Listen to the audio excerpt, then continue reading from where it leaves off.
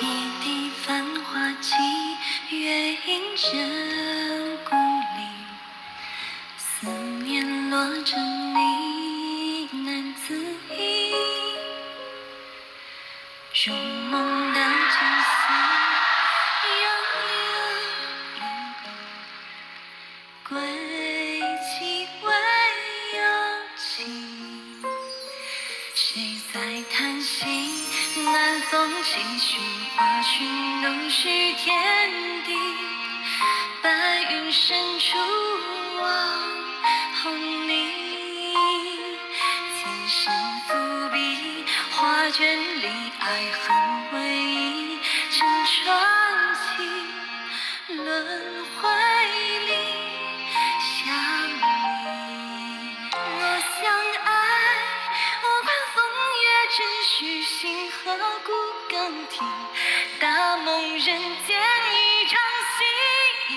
Hello，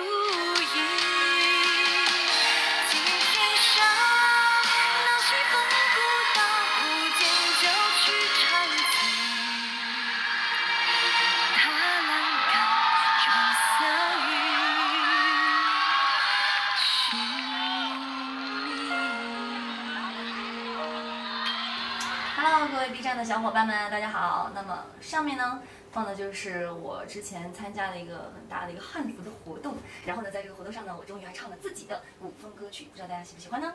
那我就想说，本来呢是一个活动，我就不分享妆容了，但是我转念一想，五代呢我之前都没有尝试过，那不跟大家分享的话是有一点点的浪费了，所以我还是决定在化妆的过程当中呢，把它拍下来，然后把五代的一些服饰啊、妆容的一些特点分享给大家。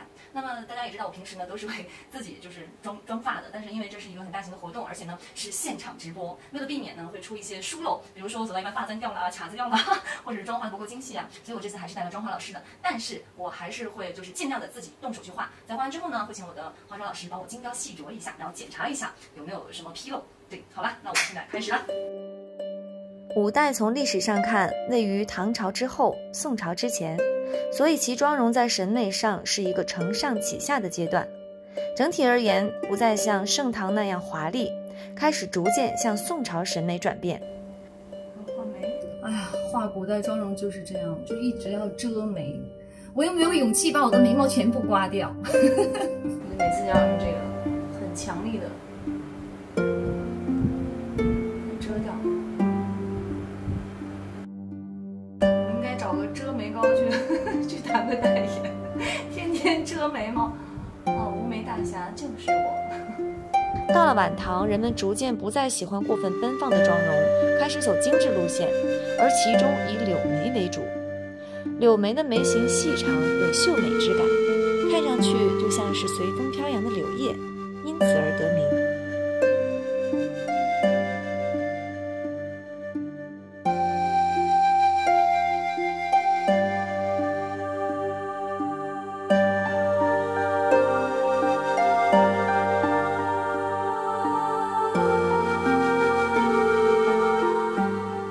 那这次因为要登台表演，配合我所穿的服饰，所以呢，我决定结合五代时期的北院妆和今夜妆容来完成这一次舞台妆面，相对还是要偏唐一些。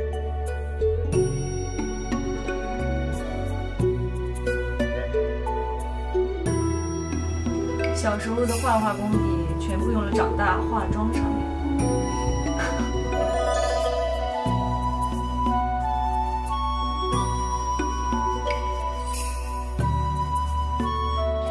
也。是晚唐时期妇女们在脸颊上点染的一种金黄色的装饰。宋代的孙兴宪在《浣溪沙》词里写道：“蜜粉半沾金叶紫，檀香幽暖秀熏浓。”这样的妆容流行了很长一段时间。在装饰方面，喜欢以花瓣作为装点，或是在两颊点缀一些带色彩的装饰。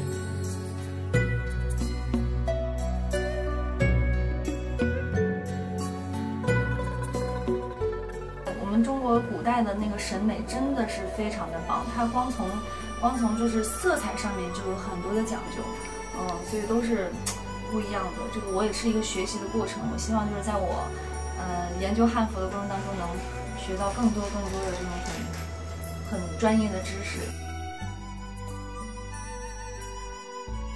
满堂时期的唇妆偏向于把嘴唇画的看上去非常小，就好似桃花一样在嘴边盛开。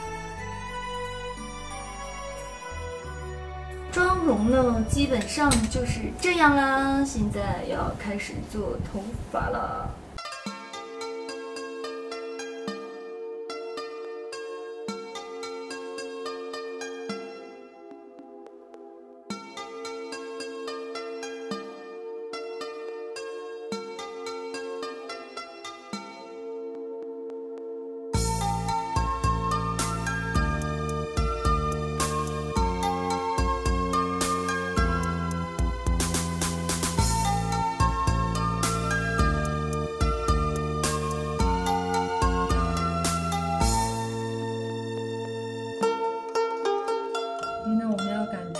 时间线，时间不够了。所以就是后面我们的化妆姐姐依林小姐姐快速的帮我完成这个过程。头发怪就是我。